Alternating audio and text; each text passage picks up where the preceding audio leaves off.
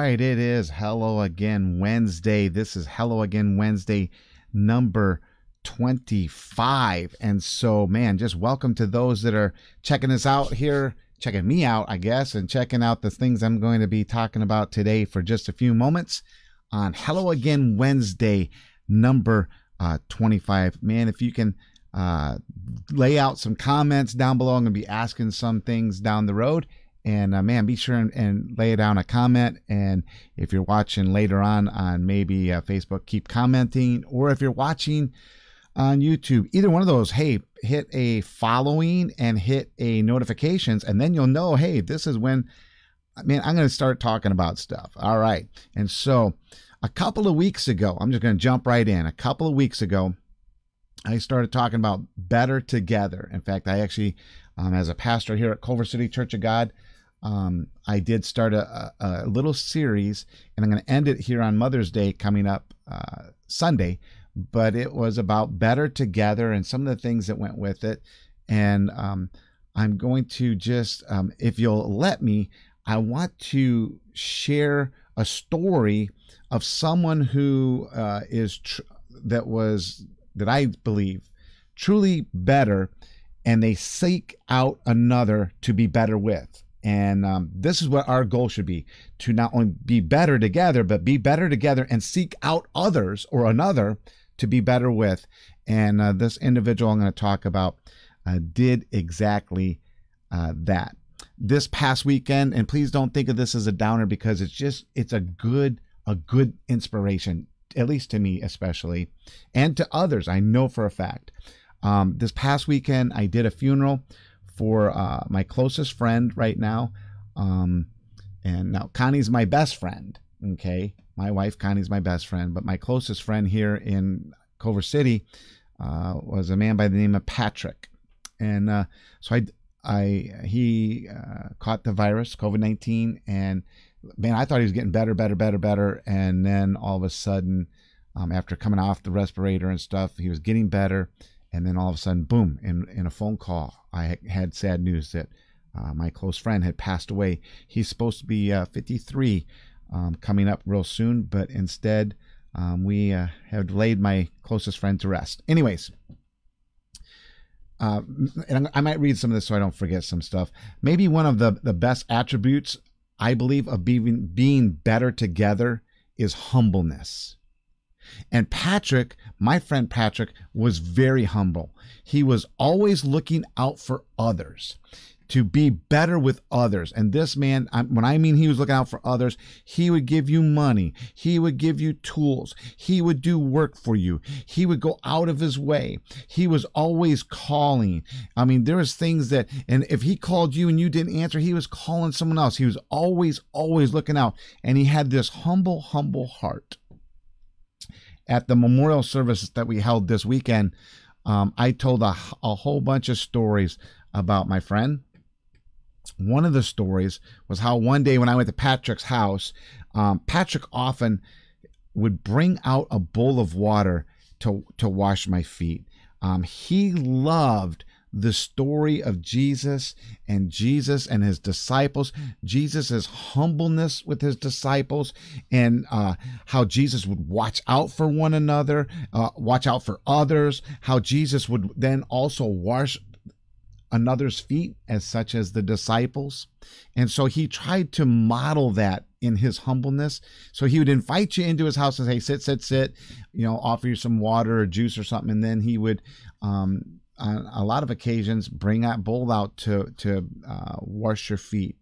Um, after I told that story because one of the things that took place one day when he did it is I made the mistake of wearing a, a sock that was whole, had holes in it, and uh, he took my socks and uh, threw them away and then gave me a brand new pair of socks along with washing my feet. I told that story, and after the service, a young man, very young man, came up to me and said, that uh, Patrick had done the same thing with him and he never thought about it because it only happened uh, like i believe once or twice but he never really thought about it but when i told the story it came to his mind but he told it in in a, the story in a different way uh, my friend friend patrick um, especially after drinking uh, could be very lo- a very loud individual. He uh, sometimes also could be a very angry individual. And one night after drinking, he had had an argument with this same young man. And then all of a sudden, the next morning um, or the following day or so, when he saw the gentleman again, uh, he had such uh, remorse for what had happened. He had uh, he was humble in in in his heart for what had happened, and uh, he comes up and humbly apologizes to this young man over and over and he asked the young man to come in. See that's how patrick was. He would not only just say words he would try and have actions that followed it. Uh, you know trying to would you like something to eat? Would you like something to drink? Inviting this young man in. And the young man said he did the exact same thing. He brought a bowl over and he cont- and he asked to wash my feet in asking for forgiveness in that humble state of mind is what my friend was. I thought, wow, that's really cool with this young man. He now has a great story of the same humble man that I know have known for years, Patrick. Um, one of the things, though, the young man at this funeral services, funeral service, as he's talking about that story real quick, he begins to tell me the story of how he actually met Patrick for the first time. And this story is better together when you're connected to another. Okay, so bear with me for just a moment because this young man, he had only been in America for three days. He had been up here, uh, made his way crossing over, and made his way to uh, up here near uh, Culver City on the far west side of Los Angeles. Been here three days, was able to um, acquire some finances and an apartment. Okay, and so he goes up to the grocery store that's, you know, we have many, but there's one that's kind of close by. And by close by, I mean this about four or five very, very long blocks um, from his apartment. Okay.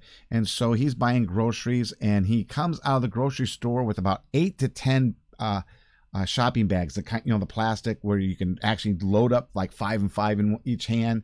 And he realized that it was a much longer walk. And as he told the story, um, the bus, um, he had missed the bus.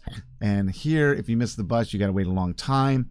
So he decided to begin to try and ask someone for a ride. And I, not only was he in America for three days only, but he spoke no English.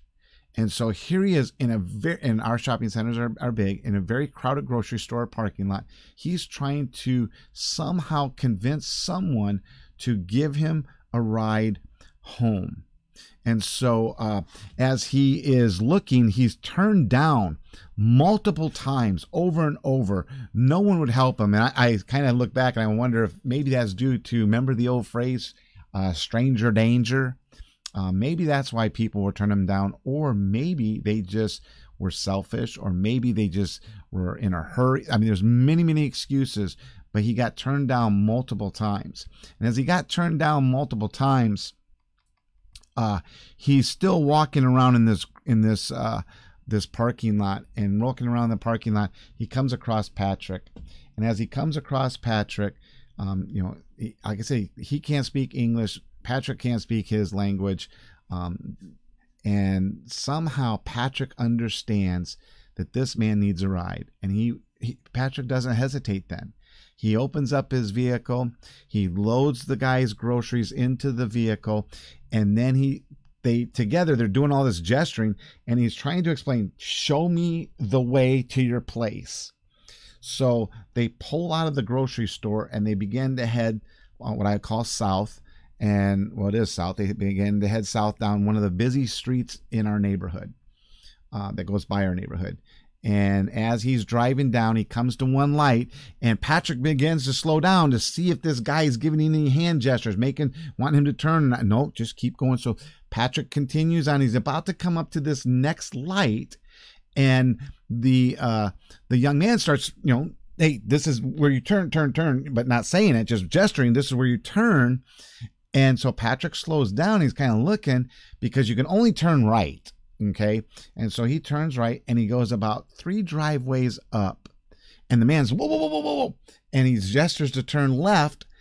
And would you believe that that young man, three days in America, met up with another young man with a humble heart, and they the two of them live in the same apartment complex. And so what takes place is you have someone like Patrick with a humble heart. And I'm going to tell you what, I could just see Patrick. This dude had a smile a mile long and it would just light up his whole face. And I could just see Patrick smiling as he realizes a young man he is helping, not knowing any language, lives in his apartment. And they two did, they bonded, bonded so much that um, we shared a time together uh, saying goodbye uh, to our friend. One of the things during that memorial service, though, is not only that young man, but many others from that apartment complex. It's not, I mean, it was just small, but many others from that apartment complex who have known Patrick on his ups and downs um, came out here. And one thing that was so easy to tell them, because I've stood out there in his driveway a few times, and he would look after individuals, open the gates for them and stuff like that, and call them by name. He learned the names of his neighbors. Did you hear that? He learned the names of his neighbors and he cared for them. He offered them stuff all the time. And one thing I told them on that uh, Saturday was, you know what? Patrick considered many his family and he treated them very well with a humble heart. Better together, connected to another, is a better life for everyone here today. Soon, this disconnection that we are in uh, with the virus and everything, soon this disconnection from one another will end. Are you ready to be better together again? I am. So, some so what is? I told you I was going to ask you to comment stuff. So, what is some of your better together stories? A couple weeks ago or something like that, I asked you, you know, what made you happy. I had, you know, some good things. Uh, we're about to try, uh, you know, I see a lot of things more and more that uh, this is really cool. This is what makes me happy. We're going to see if an orange dreamsicle cheesecake homemade from scratch that Lauren has made, we're going to see if that makes me happy. That was one of the last week's one. But what is some of your better together stories? I would love, I'm really interested. I would love to hear your better together stories. Better together stories inspire others. So don't just tell them to me, tell them to others. They inspire others. Better together stories brings us together, maybe even closer together.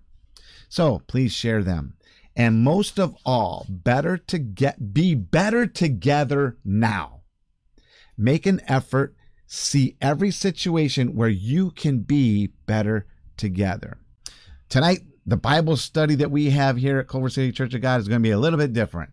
I am the substitute teacher of the afternoon. In fact, it starts in about uh, three and a half hours, 4 p.m uh, Pacific time. I'm going to be picking up where Pastor Mark has uh, left off for uh, this one week, um, letting me substitute for him in Matthew chapter 24, and we're going to then work our way forward just as uh, he has been doing. Um, this will probably be um, i have to say it this way because um, i know that his his wife and them have helped up with um, um, I, I, let them do the Bible study, which is awesome. I'm there. I'm involved uh, and, and taken in uh, as Pastor Mark's been leading us through, especially this time, uh, Matthew. Um, but she's been running, running the Zoom, and now, uh, but uh, they won't be here tonight. Um, so I'm going to offer my Zoom account. So if you would like to Zoom on the Bible study uh, tonight, I will shoot that little code that you need to uh, go to the Zoom and you put in that passcode or whatever it is, or I don't know how, I can't remember. It's been a while. Um, but I'll give you that passcode to get into uh, my Zoom account, and we will have Bible study 4 p.m. Pacific time. And so just ask me for the code on Facebook or on email, especially at Culver City Church of God at yahoo.com, and I'll get that out to you. As always, better together. Check out a church near you and see what they're doing tonight, what they're doing today, what they're doing this afternoon, maybe even this week or this weekend be better together with them. Be that inspiration that is better. And you know? As I'm typing my stuff out, because I do look at notes and stuff sometimes. I was looking at this one, and as I was looking at my, you ever type mistakes? Uh, I'm right here. Be better together with them. Be that inspiration that is better to gather. Rather to gather, better to gather, better to gather with who you gather with, with your church community. This week, especially, it has been great to be with you guys again. Um, ready? Better to be with you. I will see you next Wednesday on Hello Again Wednesday. And so I hope you all have a great week. I did the intro correct this week. I'm going to try and intro us out. Transition.